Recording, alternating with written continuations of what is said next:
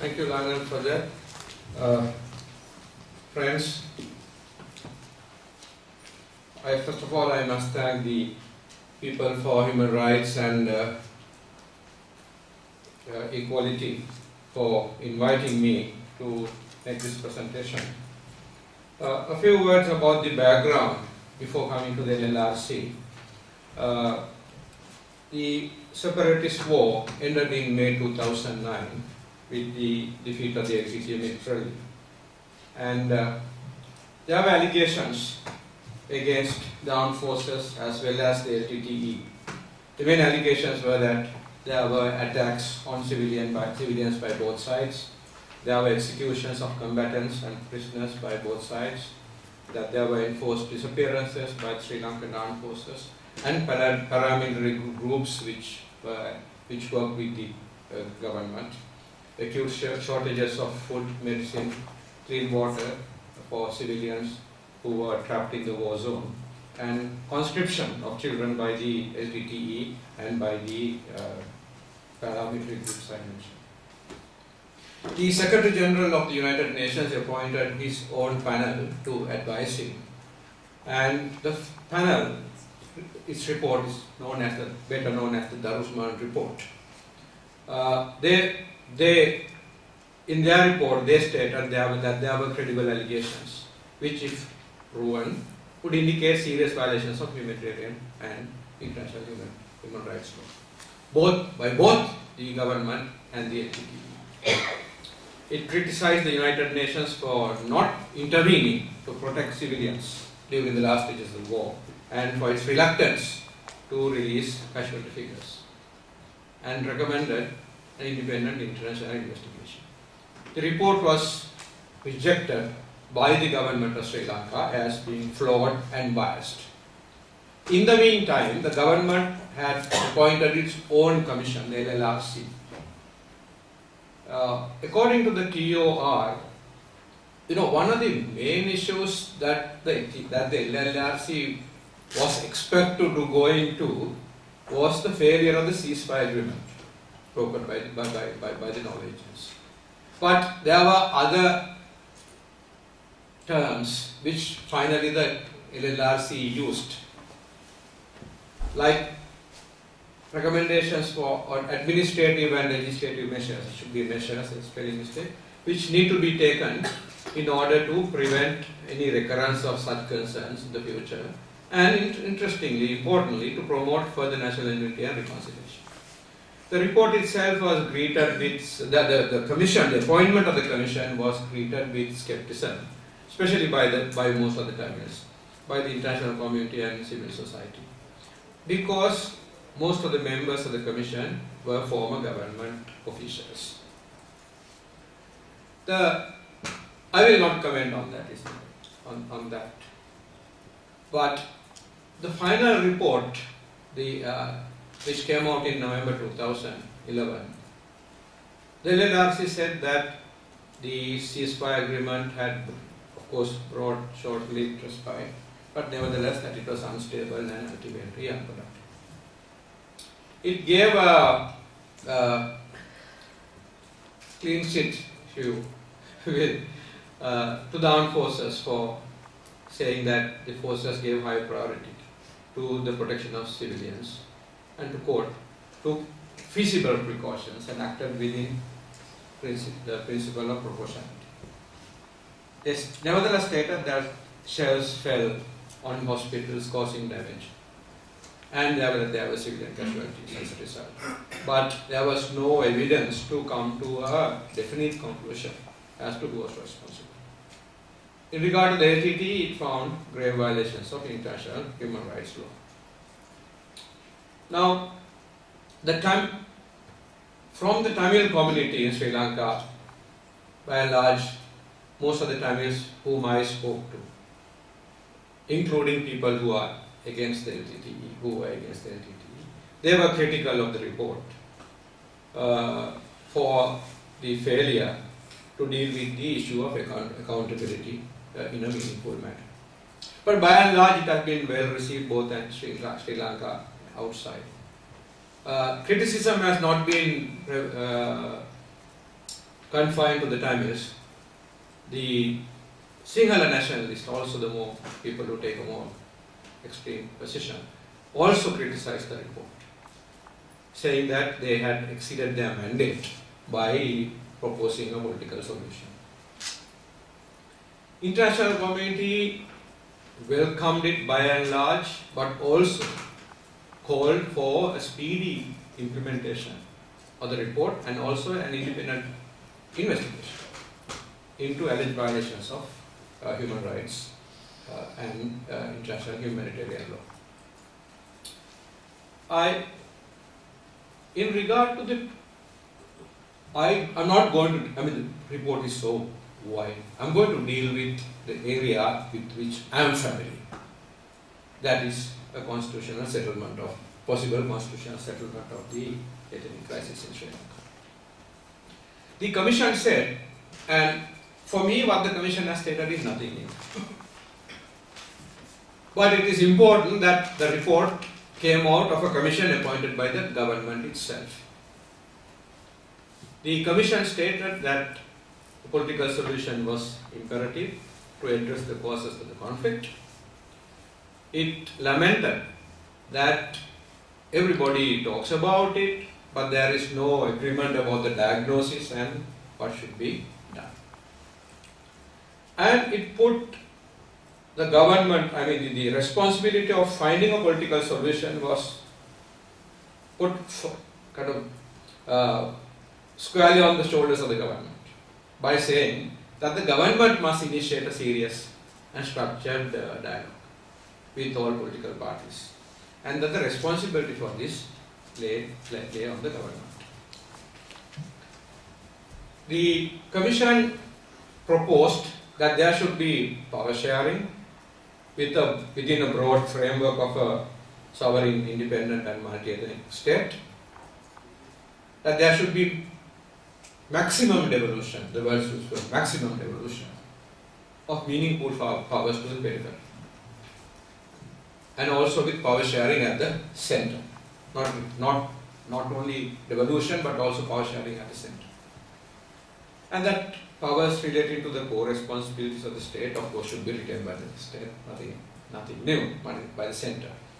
And that there should be inbuilt mechanisms to effectively address and discourage separatist tendencies and to safeguard the sovereignty and integrity of the state. And as I said, nothing new, at least for me. Now, having said what the LLRC said about the ethnic issue, I I'll come back to the report, but I want to now say, I mean, uh, say a few words about my own views on the on the whole problem. Uh, I'm going to start with something that some of you, at least most of you, may, may consider very elementary. But I nevertheless want to flag the issue. Now, we have in Sri Lanka both dispersed communities and concentrated communities.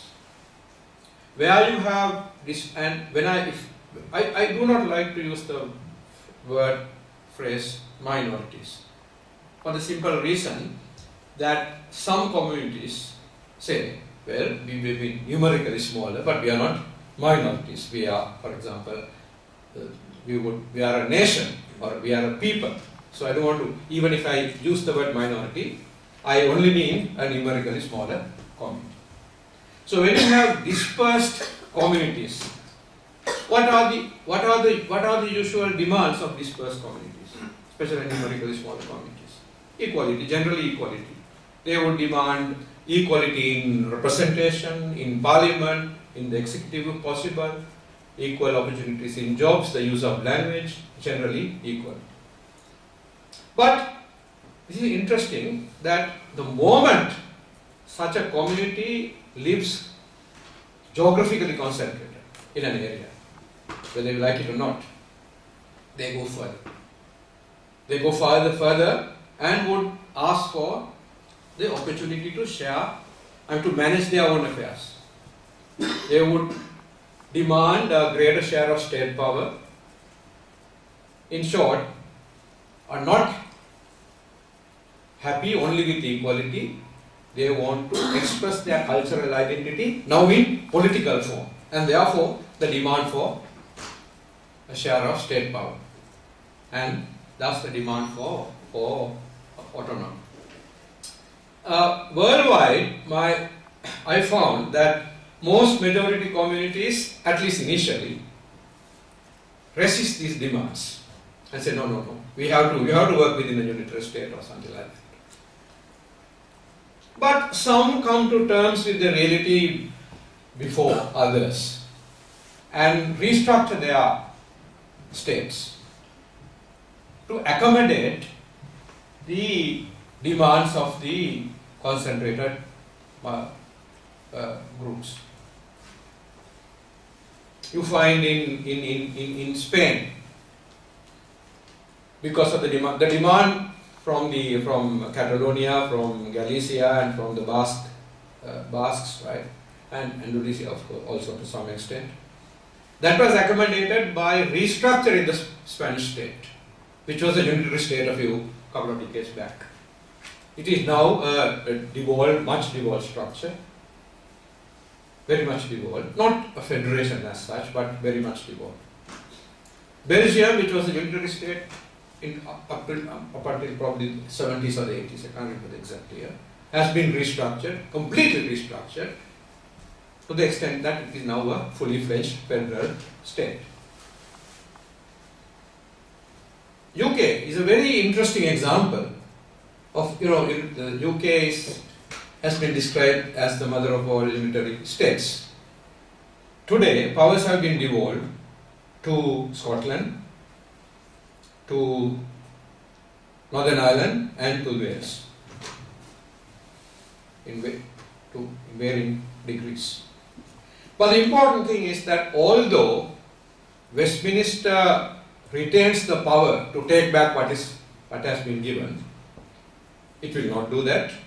And there is a memorandum, memorandum of understanding with the devolved uh, units that Westminster will not legislate, for example, for Northern Ireland, except with the consent of the Northern Irish Assembly, and so also for Scotland. So while it is unitary in theory, it is otherwise in practice, and that makes the big difference. That makes the big difference. If you take Indonesia, there is no majority. Indonesians don't have nobody is a majority.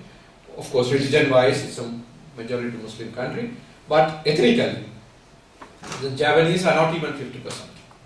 It is a unitary state, but the constitution itself says that there can be autonomy. So, Aceh and uh, Papua, for example, have greater powers. Of course, they are asking for more powers. And uh, generally, it's working. It is working generally because the districts. I've done a little study, been there a couple of times, and the districts have their own powers to some extent. Languages are being uh, allowed to be used uh, for, for, for local purposes.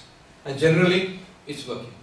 So if you, if, if even, this shows that even within a unitary state, things could have, could be settled if, if it is, uh, if it is uh, dealt with, uh, dealt with at the, at the earlier stages. But with time, with time, what happens is that if with time, uh, as happened in Sri Lanka, the demand grew from for, for, for limited federalism, for, for federalism, and then they were prepared to accommodate, uh, to, to, to, agree to even district councils, but then nothing happened and then of course finally the demand for separation. So Sri Lanka, I'm, use, I have to, I'm sorry I have to use the 1981 census because the last, that is the last complete census. You find both concentrated minority uh, groups as well as dispersed groups. The Sinhalese, a majority in the southern, so-called southern provinces, but also living in substantial numbers in the east. In the east, especially in two districts, Trincomalee and uh, Ampara. The Tamils dominate the north. They are they also dominate the Batticaloa district, the three eastern districts, Batticaloa district, which is not contiguous with the north, so making it more complex. They are uh, in, they live in substantial numbers in Trincomalee and also in Ampara, about 20% in Ampara, I believe. And the Muslims, the Moors, the Muslims, because now the identity is Muslim, not they don't call themselves Moors, a Muslim identity. Muslims are found all over the country, but concentrated, found concentrated in the east. Now they are the largest community, about 40% in the Trincomalee district. The figures are now. Uh, and they are also in a majority in the, they are the largest community rather, in uh, Ampara. And they are dispersed all over. The Indian Tamils who have, who now claim, I mean, who say that we are separate identity and which has now been recognized. Uh, they are culturally different from the northern Tamils and they say we are different. Uh, they dominate the central district of, uh, in the central province, Nuwara and have substantial concentrations in the, in the central hills. So, it's a very difficult situation. You get concentrated groups, dispersed groups, Sinhalese are in a majority in some provinces, they are in a minority in the east and also tiny minority in the north. So making it very uh, quite quite quite difficult. So that's the challenge. So a few words about the about the history of the conflict. I, we Sri Lanka had we, we got universal franchise in as far back as in 1931. The British we were under the British at that time, but still got universal franchise men and women were allowed to vote in 1931. The Donoughmore Constitution, while still under the British, permitted some kind of power sharing. There was a state council uh, of 50 members, I believe, appointed. The more important, the three more important ministries were reserved for the British officials. But the others, there were seven other ministers appointed on the basis of executive committee. The council would divide itself into executive committees and appoint a chairman each who would be designated minister. So out of the seven ministers in the 1931 State Council, one was a sing, uh, five were Sinhalese, there were Tamils, uh, a Tamil and a Muslim. Now, 1936 was important, is important because in 1936, uh, the majority of Sinhala members who were elected, when they elected the committees, they voted in such a way that the Sinhalese would be a majority in each of the committees and did not accommodate a Tamil or a Muslim as a minister. So then came the all Sinhala or the pan Sinhala board of ministers, which I thought was lesson number one. We got independence in 48, constitution in 47, independence, complete independence in 48 and started off by disenfranchising the Indian Tamils. They voted, they voted at the 47 elections as British subjects. But when the new Citizenship Act was drawn, the, the citizen was defined so as to exclude the large majority of Indian Tamils. There was no Bill of Rights in the original constitution. But there was section 29 which said that no law shall discriminate against a particular community or give a advantage to a particular community. You cannot discriminate or give an advantage. But section 29 was no, of no avail for the Indian Tamils. The, both the Sri Lankan JP, the left supported it. There were communal rights in 1958 and there was some recognition of Tamil as uh, official, not official for administrative purpose, very limited in 1959. Mr. Dudley Senanayake of the UNP became Prime Minister in 1965. He was short of a majority and entered into a pact with Chilana. and now So again a reversal approvals. Now it is the duty of the SLFP to oppose and they dutifully did that. Unfortunately also supported by the 10 parties. So we have Banda Chelva Pact and the Dudley Chelva Pact, two opportunities lost in 1958 and 19, uh, in the 1960s. Is that Dharmalingam, who spoke to the Federal Party, said, Well, we are for federalism. But if you, the government, thinks that you do not have a mandate to go outside a unitary state, why don't you accept? Why don't you put into practice what you have been saying in at successive elections in your election manifestos? Namely, the abolition of the Kacheri system. We have the district-wise Kacheri uh, system. You abolish the Kacheri system and have elected bodies, in, in short, district councils. I think that should have been grabbed. That should have been grabbed. And along with an understanding on the language issue, because now in 1772, Buddhism was given the foremost place in the constitution.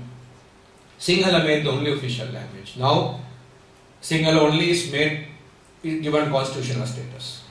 So, I think with such accommodation, such kind of accommodation, things would have been different. Because it was not different, no difference was made. The Tamils, in the famous Vaddukoddai resolution in 1976, said we are now for separate for a separate state. I strongly believe that if there was some accommodation in 1972, still the Tamil parties may have finally voted against the constitution, but they would not have. That's the word used. They pushed the Tamils into asking for a separate state, and we will address the question once we come to power through a roundtable conference. But after the election, there was not to be a roundtable conference.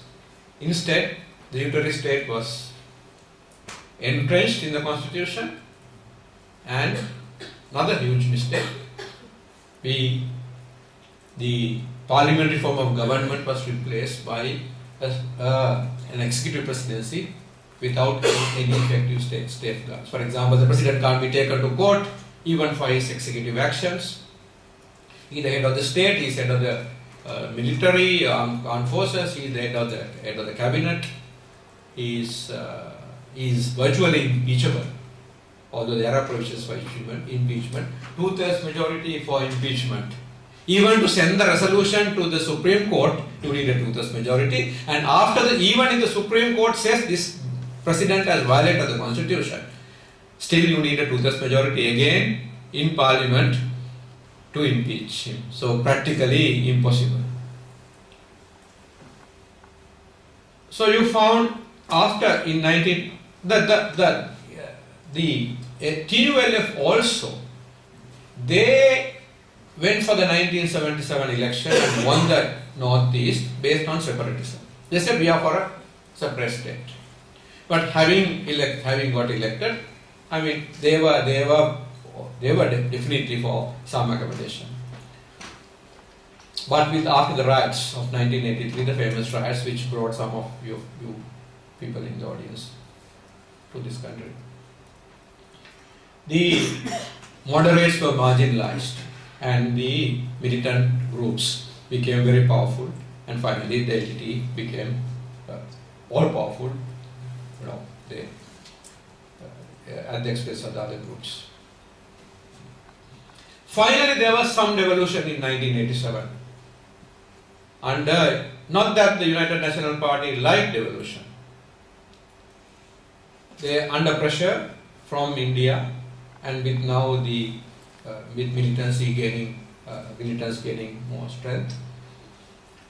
Limited powers have been devolved to the provincial councils, but to make a long story short, virtually every full stop and every comma in the 13th Amendment has been used by successive governments to not to empower the provincial councils as the constitution requires them to do, but to take back powers.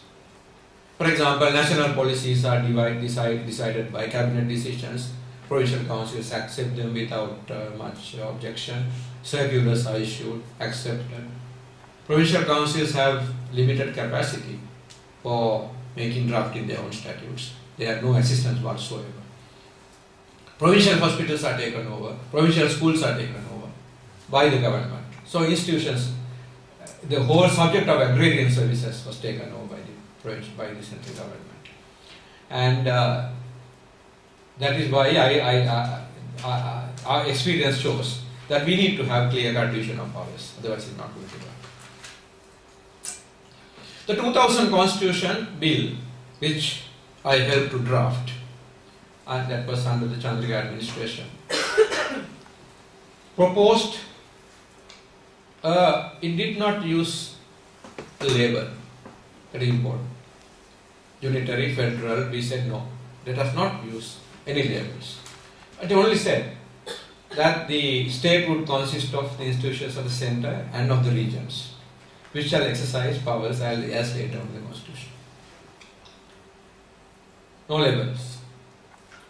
We, the constitution proposed, the bill proposed a return to parliamentary form of government after 17 years of and another six, 23 years of executive presidency there was general consensus that we should go back to a parliamentary form of government. What was proposed was a clear-cut division of powers between the provinces and the center. And the center. Power sharing in the regional executive, in the sense that in the in the provinces, all parties would be entitled. They can keep out, they can opt out, but they would be entitled to ministries depending on their strength.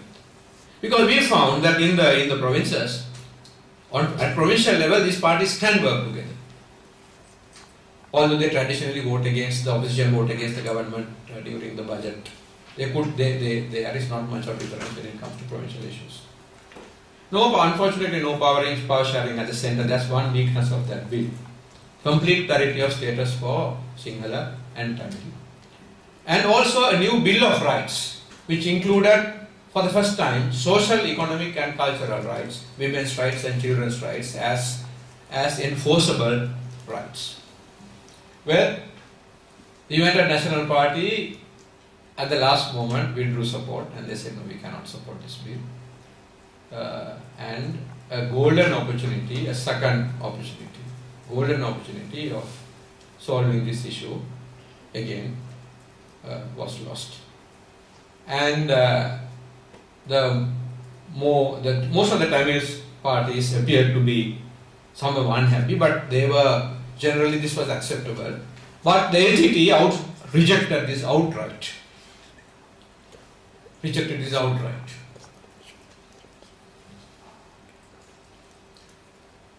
Mr. Ranil Wickremesinghe became Prime Minister under with President Chandrika Chandrika as president and started talks with the LTT. There was a ceasefire agreement. And in Oslo, both sides agreed to explore the possibility of a federal solution. Of course, the LTT went back on it very soon and said, uh, no, we did not say that. Some kind of kind of statement was made. Uh, brought on board the process and she comes from a different party. The UNP is in a parliament majority in parliament. I think that I think that also contributed a lot to the party. And uh, very interestingly, the LTTE uh, advised the Tamil people not to vote, not to, to boycott the elections. And it's hardline, but I think they preferred a hardline uh, to a moderate grossly underestimated Rajapaksa. And uh, Rajapaksa won thanks to the boycott in the north. He crushed the LTT militarily within four years. And my own view is that the LTT overestimated itself and greatly underestimated the possibility of the armed forces crushing them. They said, yeah, they, they thought they were invincible. We can discuss this more during the uh, discussion. But there has been lip service towards a political solution, even after, right throughout the process. Every Indian leader that who comes to Sri Lanka is assured that there would be 13th Amendment plus or plus plus, or we are prepared, prepared to go the whole world, move forward. Statements are made in India, in Geneva, in New York, uh, assurances are given, but nothing happens. In 2006, an all-party represent, all-party conference was appointed, an all-party representative committee was appointed. The all-party representative committee chairman uh, presented a summary of the decisions, which, I, in my opinion, I, it doesn't it doesn't match up to my expect did not match up to my expectations, but they were not bad. Could have been built, much could have been built on the APRC report. The experts panel of which I was a member was deeply divided. Uh, 11 of us out of the 17, uh, which constituted the majority, we proposed a strong power sharing arrangement. Going, improving on the 2000 bill, clear cut devolution of powers, also central power sharing, uh, constitutional court, etc. Generally welcomed by the Tamil community, both internationally and locally. Again, I did not find any uh, positive response from the LTTE. They did not say anything, but they, they I think that now they prefer not to say anything. But the message was clear. And uh, so, reports after reports, nothing has happened. now I come back to the LLRC. So the LLRC having proposed a political solution did not stop at that. They made some other very interesting observations. They thought Sinhala and Tamil should be taught compulsorily in all schools. That officers, all government officers should not should have Tamil speaking officials. For example, in the police stations in the north. There is not a single officer in some police stations who speak Tamil. And therefore the Tamil people are unable to even make a complaint in their own language. The national anthem, the national anthem officially is in Sinhala, but there is a Tamil translation which is found in the Tamil version of the present constitution. It has been sung from the 1950s. And I know because I come from the central province. In the Tamil schools and in the Muslim schools, it is sung up to today in, in Tamil even by the Muslims. And they, they should be sung simultaneously and there should be ethnically mixed private uh, public universities. Now, and the LLRC did not confine itself to the ethnic issue, but raised some very important questions relating to democratic governance. Because these are serious issues emerging already emerged, some are already emerging, not emerging. Because they said independent police commission is needed, independent public service commission is needed. The LLRC, the government's own LLRC says there should be an independent judiciary. Now you don't you don't say that, go out of the way and say that unless there is a problem for the judiciary. Right? Transparent legal process, strict, strict adherence to the rule of law, etc and also said that the media should be free, there should be no harassment. Right to information, legislation is needed. Re-establishment of civilian administration. And on this point I must say that there is military administration, military military personnel have been brought into the civil administration. Not only in the north, even in the south. I mean, there's militarization not only in the north, but it's also happening in the south. And that the police department should be a, you know, in, in, in earlier times, the, the more uh, senior elderly people will remember from Sri Lanka, that police department was under the Ministry of Home Affairs and not defense. So they, they said, they suggested that the police department should be delinked from the armed forces.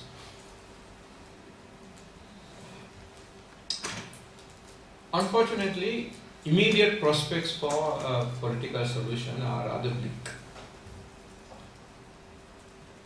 Have to say this. I'm sorry I have to say this, but that is the truth. The hardliners appear to be very strong in government. The actually to this, if you had listened to the SBS interview today, I was interviewed last morning, uh, yesterday, and I was asked about this development.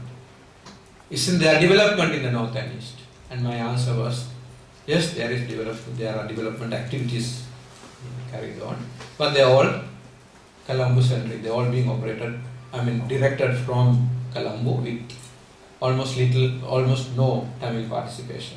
And I mean into the north. I mean, in the east, I've actually been advising the Eastern Provincial Council on legal matters. I know what's happening. So this government, uh, it appears that the government thinks that big development alone, with infrastructure, so physical infrastructure alone, people would be happy, and you know that uh, that would be the solution to their to the to the problem. But the responses, the response of the Tamils shows otherwise. I'm not surprised at all. The local elections last year, last year, the Tamil Nationalist Alliance set the board in uh, the north and east. And the provincial elections held two weeks, uh, a few weeks earlier.